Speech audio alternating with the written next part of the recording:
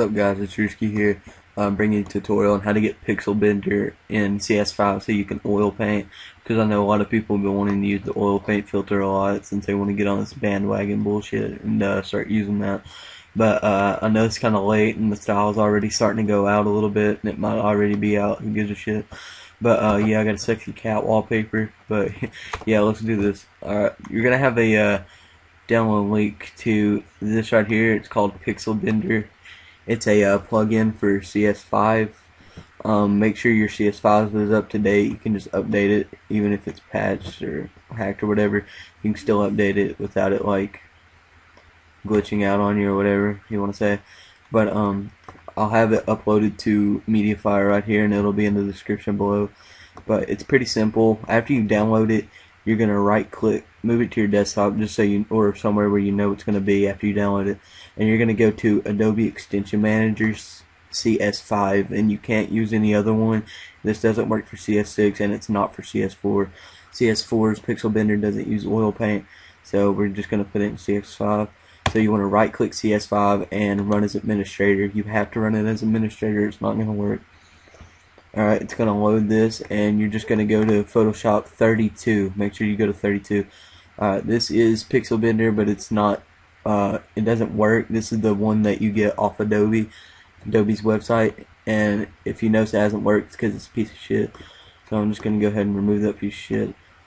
And um, actually, that was the CS4. That works on CS4. But um, we're going to put this, uh, we're going to put the CS5 Pixel Bender in. So what you're going to do is you're going to press install right here and then you're gonna find it.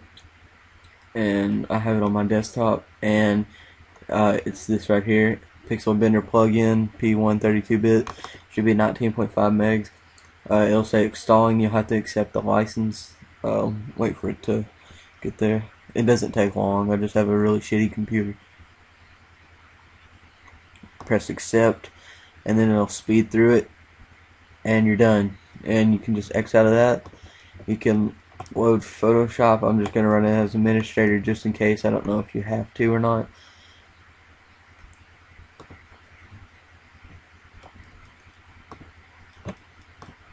And Photoshop CS5 is loading.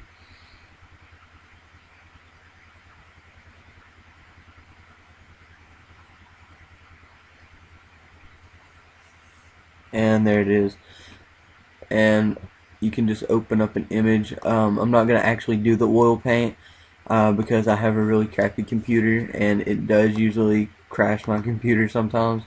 And I've got it to work. We'll just there's a picture of my friend's avatar. It's kind of retarded as hell. I took a screenshot of it because it's funny as fuck. But uh, you're gonna get a filter, and you'll have right here under G uh, Digimarc, which is already there. You're gonna go to Pixel Bender, and then you're gonna press Pixel Bender Gallery, this also has, it'll bring up this menu and it'll have a lot of different things like Converge, uh, Fisheye, um, Tube View, things like that. But what you're probably wanting is oil paint. So you're going to go down to oil paint and it is going to look like that at the beginning.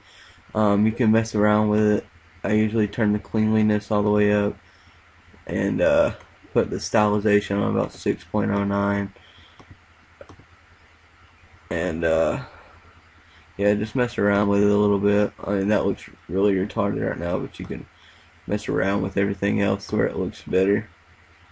Um, but yeah, guys, that's how you get CS5 and uh, that's how you get oil paint or pixel bender in CS5. Uh, it does work. It's not as good as the CS6 one, but it does do the job. Oh, sorry about the voice crack. But um, I hope you guys enjoyed this, and I hope it works for you. If there's any problems, just leave a comment below. And uh, just every time you download it, if you download it, just make sure you press like, because it would really help me out. And uh, if you ever want another tutorial on how to get anything, just make a comment, and I'll try to get it myself and put out another tutorial. See you guys.